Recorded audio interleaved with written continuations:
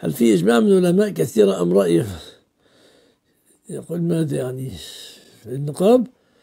طبعا في أكثر من رأي بارك الله فيك. لكن هذا اختياري والله أعلم. ثم متان فاسألهن من وراء حجاب ذلكم أطهر لقلوبكم وقلوبهن. وعندنا في الباب